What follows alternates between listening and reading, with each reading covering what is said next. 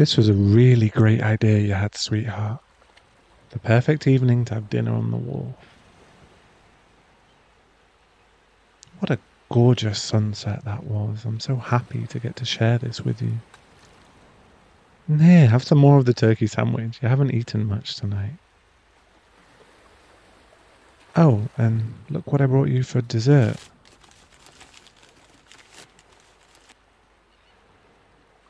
No, I'm not going to tell you, baby. You have to open it and find out for yourself. Why? Well, it's a surprise. You don't tell someone what's inside a present before they open it. That ruins the surprise. Yeah, it's those chocolate chip cookies from that little bakery you love so much.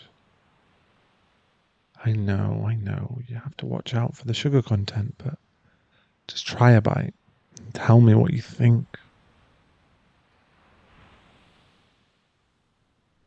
So, what do you think? What? No, I didn't do anything to the cookie. Just tell me, is it good? How does it taste?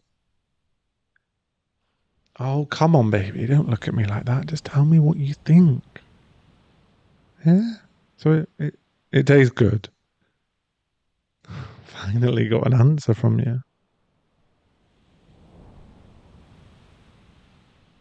I'm asking because I called the bakery and spoke with Margaret, the owner. I told her how much she loved their cookies, but that with your medical treatment right now you couldn't have the sugar. I asked her if there was a way to get these made sugar free. Yeah, baby, I did that for you. Why? Be- well, because you're my girl and I wanted to make you smile that gorgeous smile. I love that smile so much. Hmm, yeah, that one. Hmm. Nothing big, sweetheart. I mean, I'm so glad that it makes you this happy, but it's just a little surprise. I've lots more where that came from. I want to see that beautiful smile as often as I can get. No, those cookies are all for you to enjoy, my love. I also have another dozen boxed up in the car for you to take home with you tonight. well, to be honest, they had to make an entire batch, so I bought more than just a couple to make it worth their while too, and so you could enjoy them longer. Now that we've finished eating, why don't we move further down the pier so we can get a better view of the waves? How does that sound? Good. No, no, I've got you. I don't want you to get a splinter in your hand like last time we were here. Hmm, no, baby, it's not any trouble at all. I want to protect those beautiful fingers of yours. Just let me get the brake unlocked. There now. Let's go. It's so beautiful tonight. Look at those stars shining so brightly, and that moon is enormous. I'm so happy to share this time with you. I know you have a lot going on right now with your online classes and with your treatments for your leg. I'm just grateful to be able to get any time I can to enjoy your company, love. And of course, to spoil you. When you let me, that is.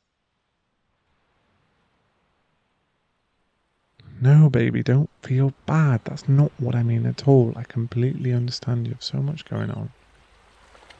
There's no need to worry about that. I just want to be there to help you as you deal with all of this. So strong, my love, and I know that, but I don't want you to feel you have to do everything yourself. I'm here for whatever you need, whenever you need. Promise me you'll tell me.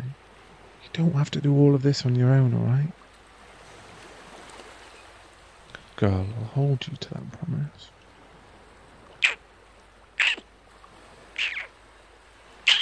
Hmm. Another couple walked by.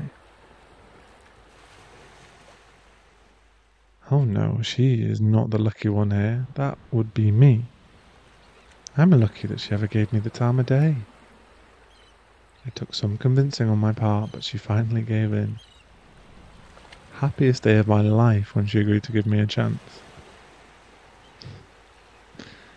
Oh, thanks. You guys have a good evening as well.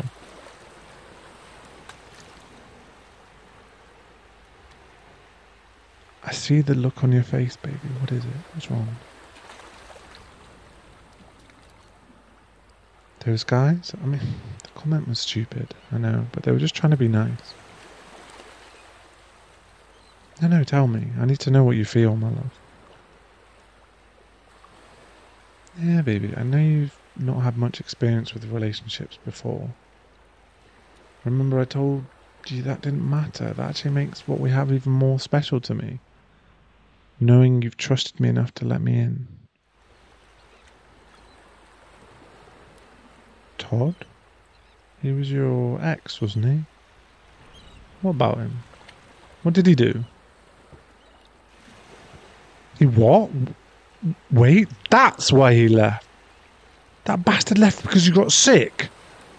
He said he couldn't be bothered to play nurse. Oh, love, I'm so, so sorry you went through that. He definitely didn't deserve you. You truly are the most amazing thing that's ever happened to me. Do you understand? I want you to forget all about him. He didn't deserve you, and he doesn't deserve another moment's time in your thoughts, alright? I can't believe he would tell you that no one would want to be with you unless it was out of pity. That is truly the most horrific lie I've ever heard. I promise you one thing if I ever lay eyes on that bastard again, you will need to find a dentist to fix the teeth I help him remove. No, I know I don't have to be pissed off at him, but I can't help it. Anyone who'd hurt you like that deserves exactly what's coming to him. Hey, look at me. We are not going to let that monster steal another moment of our time together. Tonight or ever again, alright? You are mine now. He does not get to hurt you ever again.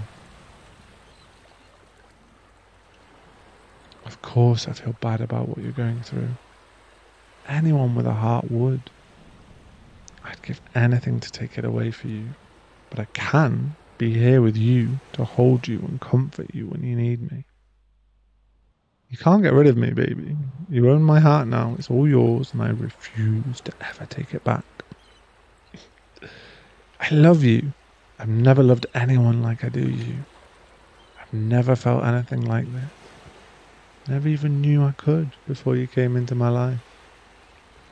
So what if you use a wheelchair to get around? Whether it's for a few months or years or for the rest of your life. I don't care, but it's here if you need it. That chair's not you. My love, you are who I see and who I'm deeply, madly in love with. That beautiful heart and the most generous, kind, loving soul inside of you. I love you and I'm not going anywhere. Got it?